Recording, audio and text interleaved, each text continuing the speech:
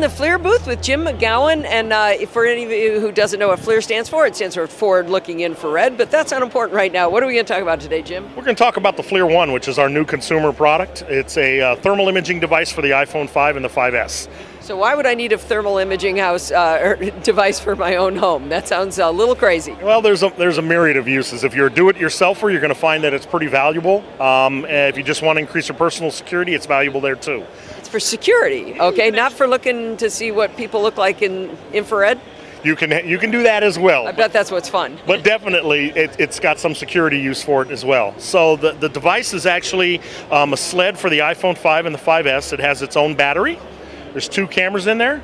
There's a visual day camera and there is a thermal camera in there.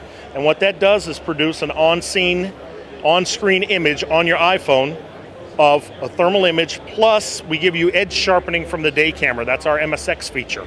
So that gives you additional detail you normally would not see with just thermal alone. So on the video, what people are seeing right now is uh, we've got a little playhouse here, and he's holding the, uh, the the device over that, and we're seeing a thermal image. But I don't know how to interpret what I'm seeing. Well, let me tell you what you're seeing. What you're seeing right there is the hot spots are the real bright areas, and the cooler areas are darker. So if you take a look, you can see that the window to the left of the window, there's a big energy leak. Which, let's say that was your house, you'd know that pretty quickly.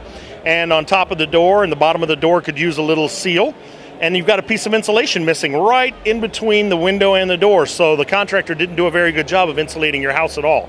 That's a pretty pretty powerful purpose for this camera right there, and that's only just one use. If you had a water leak as well, you could find it.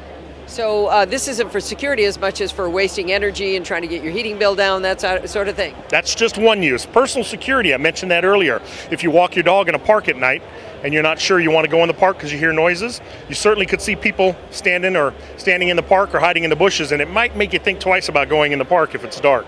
Oh, that's an interesting use. Uh, any other uses for this? Oh, I mean, if you go outdoors and you go camping, you can make sure your campfire is out. You can make sure it's a raccoon or a possum that's eating your food outside, not something larger.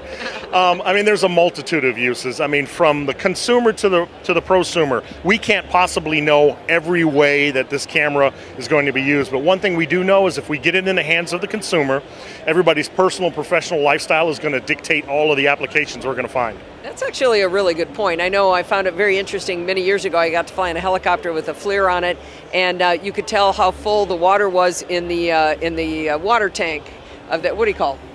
Those giant water well things. You know what I mean? I'm missing the word, but it was really interesting to see that from the outside. I could see how full the water tank was. Right, and this will do this as well. You could see if your propane tank is full or not. It'll tell Ooh, you. That's a really good one, actually, because I want to know when that thing's almost out. Right. So there's a lot of different uses of, of, of a thermal imager. Again, we don't know them all, but as we are at a show like MacWorld right now, people come up to us all the time and tell us more and more. Hey, I could use it for this. I'd love to use it for that.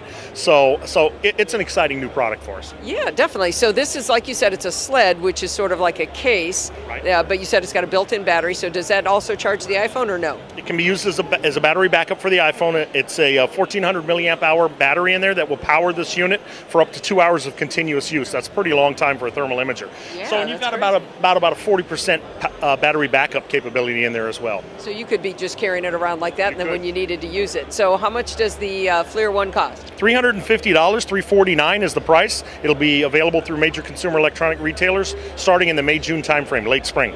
Great, thank you very much, Jim. This is a really interesting product. And uh, is there a website they should go to to look at it? www.flirone.com. And it's O-N-E, not the number one, but O-N-E, flirone.com. Great, thank you very much, Jim. Thanks.